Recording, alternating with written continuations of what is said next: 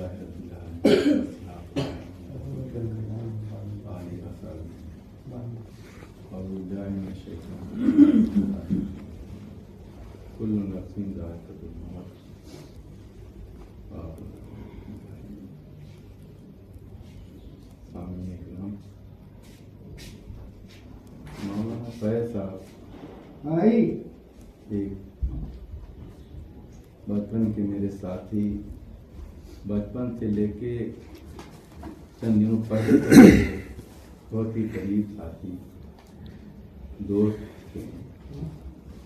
उनके बचपन के पहलू पे देखा जाए तो सन उन्नीस सौ उनसठ से की पैदाइश है उनसे एक साल छोटे थे। और बचपने में भी ज़्यादा उनको पढ़ने का शौक था और पढ़ते पढ़ाते, यहाँ तक कि खेल कूद से भी उनको ज़्यादा रगबत नहीं थी और बचपन में हम लोग उनको हाजी हाजी कहते थे। और अल्लाह ताला ने सुना तो तकरीबन सात हज किया उन्होंने। तकरीबन सन उन्यासी अस्सी तक इस्लाह पे तालीम हासिल की। अड़सठ में शायद अड़सठ में यहाँ पर आए थे।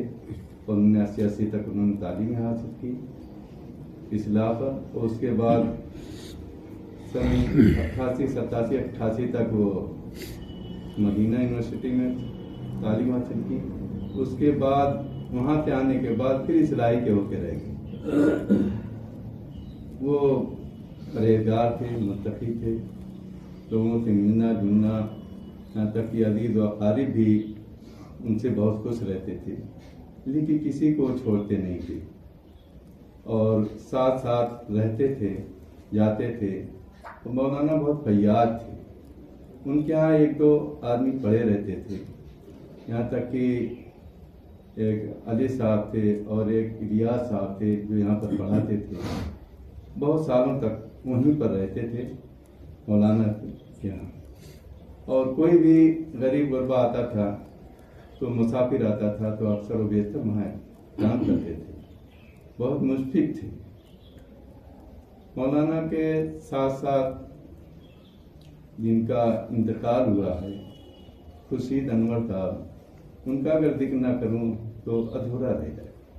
लेकिन मौलाना जमात इस्लामी से मुंसलिक हुए, उन्हीं के साथ ही कि खुर्शीद अनवर साहब भी जमात इस्लामी से मुंसलिक हुई और वहाँ वो भिवंडी में रहकर जमात इस्लामी का काम करते रहे। और ये मौलाना फैज साहब यहाँ घर पर रहकर इसरौनी में रहकर काम करते रहे। मौलाना तकरीबन हफ़्ते में पाँच सात जगह दर्श देते थे। कभी असर में, कहीं कहीं यशा में, कहीं मगरब में, इनका मामूल था। उसके अलावा भी कहीं जाते थे। अक्सर मेरे साथ जाना हुआ। कहीं दोहर की नमाज़ पढ़ी चंद मिनट खड़े हुए और एक आयत या एक हदीस पर तर्जमा किया और लोगों को पाँच सात मिनट समझाया। ये उनका मामूल था। यानी दीन से एकदम लगे रहे। उसी तरह खुर्शीद अनवर साहब का भी मामूल था। वो भी मेरे साथ ही ज़्यादातर रहते थे और साथ ही आए भी थे और साथ छोड़ के चले गए। उनका भी वो दुनिया से एकदम कट गए थे। दीन पर ही लगे रहे। यहाँ तक कि उन्होंने उनका वो था अला या तालब दुनिया दई दुनिया लेसानी का।